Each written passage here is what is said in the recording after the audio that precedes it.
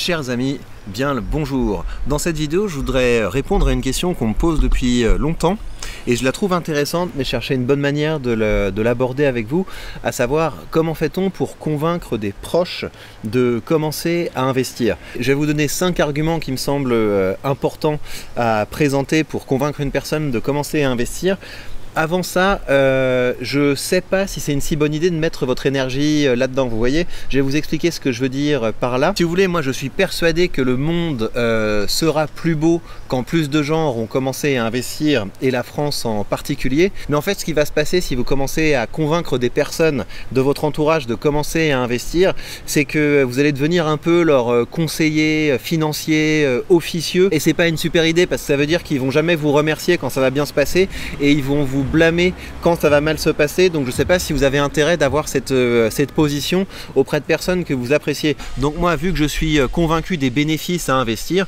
j'évangélise les gens sur Internet, comme ça en plus ça me rapporte de l'argent, donc c'est rentable en fait. Il y a des gens qui sont reconnaissants d'avoir commencé à investir euh, suite à m'avoir écouté. Le, faire des vidéos, ça me rapporte de l'argent, donc pour moi c'est tout bénéfice. par contre, moi voilà, j'ai parlé à certaines personnes et puis quand j'ai quand expliqué une fois le concept et puis que, les, que les, j'ai vu que les gens n'avaient pas commencé à investir et qui sont toujours réticents, qui sont dans la demande comme ça. Oui, mais est-ce que tu peux me promettre que, est-ce que tu peux me garantir que? Bah non, moi je m'en fous. Tu, gères ta vie euh, comme tu veux et c'est pas, je suis pas ton papa en fait. C'est-à-dire que par exemple, pour vous donner mon cas personnel, mon frère a très vite compris le truc. Euh, ma, ma soeur a un petit peu compris le truc, mais elle a, elle a pas tout à fait commencé à investir, mais je pense qu'elle va s'y mettre parce qu'elle a un esprit euh, cartésien et quand on est cartésien, on investit. Et mes parents, je leur ai expliqué un petit peu et puis j'ai vu qu'ils avaient tellement de questions, tellement de peur, tellement de que euh, voilà, si vous avez passé euh, une vie à penser que l'investissement c'était euh, c'était pas bien, c'était les méchants, etc.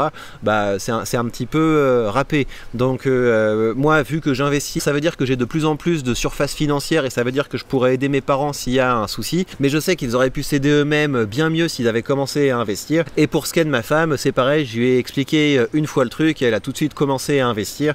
Et maintenant, bah, elle a le bon réflexe, elle met, elle met de côté tous les mois pour investir.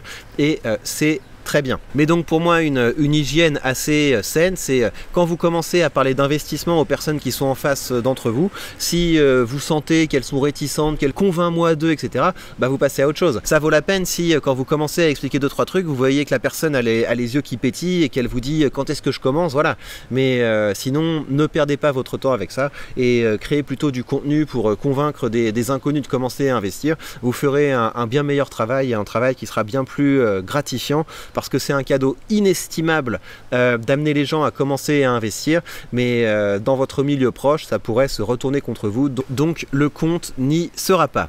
Alors, si vous voulez convaincre quelqu'un de commencer à investir, vous devez euh, jouer, je pense, sur plusieurs leviers. Le premier levier, c'est de lever les craintes que les personnes ont sur l'investissement, à commencer par cette idée farfelue qu'investir, c'est risqué.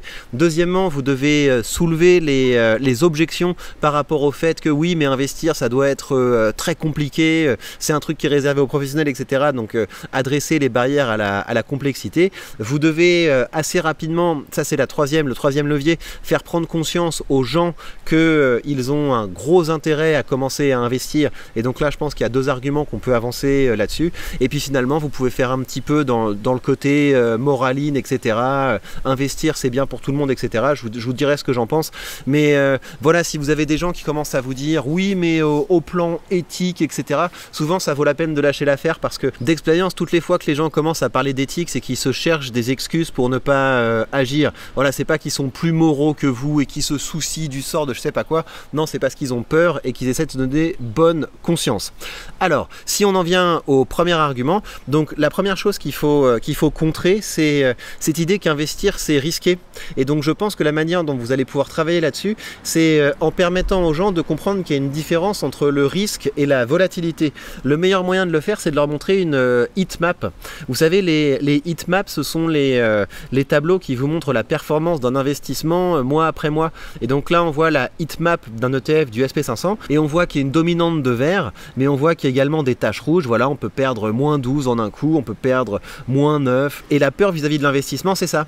C'est qu'il y a de la volatilité. Et vu qu'il y a de la volatilité, les gens pensent que c'est risqué. Et donc la manière dont on fait prendre conscience aux gens qu'il faut arrêter d'associer ça au risque, c'est vous montrer la courbe de l'investissement sur le long terme. Et donc si vous regardez la courbe du SP500 sur le long terme, ça ressemble à ça.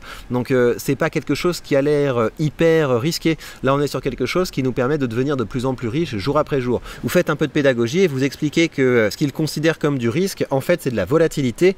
Et la volatilité, ce n'est pas quelque chose qui est risqué. Quand vous avez une perspective de long terme, vous n'allez pas perdre d'argent en investissant dans un ETF du SP500. c'est assez peu probable. Ensuite, toujours sur cette notion de risque, je pense que c'est important de faire prendre conscience aux gens que ce qui est risqué en vérité, ce sont les produits que leur banquier leur présente comme sans risque. Vous voyez, vous avez les, trucs comme, je sais pas quoi, moi, les, les comptes euh, épargne, les, comptes euh, livrets de la poste, je sais pas comment ça s'appelle, là, oui, livret A, les, machins comme ça. Euh, en fait, on vous dit c'est sans risque. Pourquoi? Parce que votre capital est garanti. Mais en fait, la garantie que vous avez avec des produits comme ça, c'est de perdre votre argent sur le long terme parce que vous allez être grignoté par, par l'inflation. Et donc, le vrai danger, c'est là. C'est de mettre de l'argent que vous gagnez à la sueur de votre front dans un véhicule qui va euh, perdre de la puissance, qui va, qui va s'éroder, qui va se ratatiner et qui va être complètement mangé par l'inflation. Donc et là vous pouvez jouer aussi un petit peu sur le sur l'ego des gens. Bah voilà, vous n'êtes pas un mouton. Quand on n'est pas un mouton, on n'achète pas les, les, produits que les méchants banquiers nous filent. Ouais, parler des méchants banquiers, ça marche bien avec les Français parce que les, les Français ont besoin de croire que les riches sont méchants. Et donc si vous arrivez à jouer sur la carte, tu te rends compte ce qui fait ton banquier. Ton banquier, il en filant des produits qui sont euh, tout pourris. Euh, il faut rendre l'argent au peuple et le meilleur moyen de remettre de l'argent dans les poches du peuple, c'est euh, d'aller le chercher nous-mêmes en investissant par nous-mêmes. Et comme ça, bah voilà, vous pouvez jouer un petit peu sur le, sur le côté qui marche bien auprès des Français, Robin des Bois et toutes ces âneries. Donc là, a priori, vous avez, vous avez pas mal avancé. La personne ne peut plus vous dire que c'est risqué d'investir parce qu'elle a commencé à comprendre que en fait, ce qui est risqué, c'est les produits que son banquier que son méchant banquier lui présente comme euh, sans risque. Ensuite, vous allez avoir une question de complexité, du type oui d'accord j'ai compris que ça pouvait être intéressant d'investir, mais je ne sais pas dans quoi investir. Et donc là, tout simplement, vous expliquez le concept euh, d'ETF et vous dites à votre connaissance, mais non, non, euh, ne t'inquiète pas, tu n'auras pas à faire des paris, tu n'auras pas à choisir telle ou telle entreprise. Regarde, ça c'est l'ETF du monde entier. Dans cet ETF, tu as tout ce qui existe de grandes entreprises dans le monde, t'es exposé au Japon, à la Suisse, euh, à, je sais pas quoi.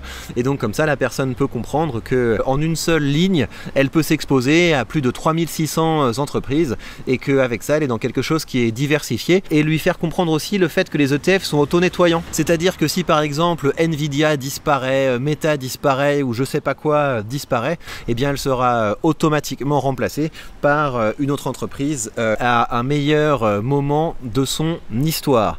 Donc ça, ce sont les, les deux premiers arguments sur lesquels il faut travailler. L'investissement, tu croyais que c'était risqué, mais en fait, c'était pas risqué. Et puis deuxièmement, tu pensais que c'était compliqué, mais en fait, ce n'est pas compliqué. Une fois qu'on a dépassé la peur du risque et l'appréhension vis-à-vis de la, de la complexité, on peut rentrer un peu plus en profondeur dans les bénéfices. Pour moi, il faut présenter deux bénéfices. Le premier, c'est que l'investissement, c'est la manière la plus simple de se construire un patrimoine. Donc la plupart des gens vont se dire, euh, je j'aurai un patrimoine quand je pourrai acheter de l'immobilier, etc. Donc faire prendre conscience du fait que quand on commence à, investir en bourse, c'est un petit peu la même fonction que de l'immobilier parce qu'on achète des, achète des parts d'entreprises et ces entreprises nous versent un petit loyer. Certaines entreprises nous versent un petit loyer, euh, donc ça s'appelle le dividende. Donc insistez pas mal sur le dividende parce que je pense que ça rassure pour faire prendre conscience aux gens que c'est pas, c'est du concret en fait. Il y, a, il y, a, véritablement une entreprise qui fait des bénéfices, elle partage une partie de ses bénéfices. Donc le, le concept de dividende c'est pas mal comme ça pour les gens qui commencent à, à investir. Et je pense que l'autre manière de faire prendre conscience que c'est vraiment du euh, patrimoine, leur faire prendre conscience que toutes les entreprises qu'elles euh, accumulent, c'est possible de les hypothéquer. De la même manière que quand on achète une, euh, une propriété, on peut l'hypothéquer parce que ça a une véritable valeur, ça a tellement de valeur que certaines personnes sont prêtes à prendre en gage notre, cette partie de notre patrimoine pour nous prêter de l'argent. Les actions, c'est pareil. Alors ça, évidemment, il ne faut pas avoir des courtiers, des courtiers de petits rigolos. Il faut aller chez un, chez un courtier un peu sérieux comme De Giro. Donc vous pouvez présenter le courtier de Giro, expliquer que avec le lien de Victor Ferry, on a 100 euros de frais de courtage remboursés, que par ailleurs pour acheter les ETF, on a seulement 1 euro de frais, mais que même ce 1 euro de frais, et eh ben, à hauteur de 100 euros, ils seront remboursés si on passe par le super lien affilié qu'il y a sur cette vidéo. Donc sachez-le, vous avez ce lien sous la vidéo, je pense que je vous le répète assez souvent, vous n'avez plus d'excuses, commencez à investir, commencez à devenir plus riche. Donc ça en tout cas c'est un point qui est important. Vos actions c'est pas seulement des lignes comme ça sur un courtier, ce sont des entreprises, ces entreprises font des bénéfices et elles partagent ces bénéfices euh, avec euh, nous et euh, nos actions ont une véritable valeur. C'est pour ça qu'on peut les, mettre en hypothèque et emprunter de l'argent. Et je pense que ça permet aussi d'introduire cette notion de, liquidité, vous voyez, ou cette, notion de oui mais imagine si j'ai besoin de mon argent, qu'est-ce qui se passe, etc.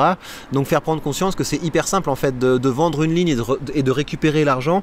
Mais euh, au-delà de ça, c'est euh, hyper simple aussi de se dire bah non, j'ai envie de laisser mon portefeuille en bourse, mais là j'ai un besoin de cash urgent.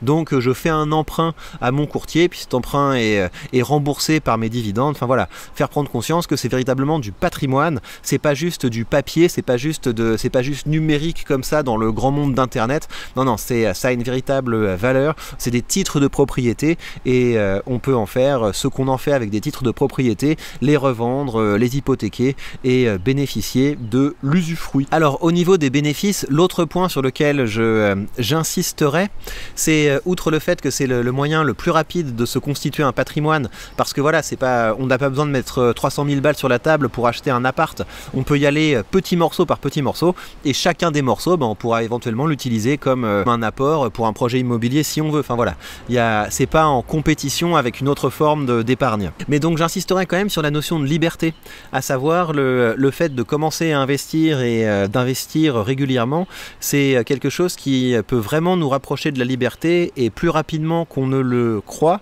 Vous pouvez montrer par exemple des courbes de dividendes et donc quand vous regardez le, dernier mois, là moi j'ai j'étais à 471 euros en dividendes, 471 euros, ça commence à faire une vraie différence. Hein. Euh, et, ces dividendes, bah, vous, au début vous pouvez les réinvestir pour augmenter l'effet cumulé, vous pouvez décider de les utiliser pour euh, payer certaines de vos factures. Mais euh, en tout cas, on est sur quelque chose de, très euh, concret. Et dès le début, on commence à avoir ces, bénéfices.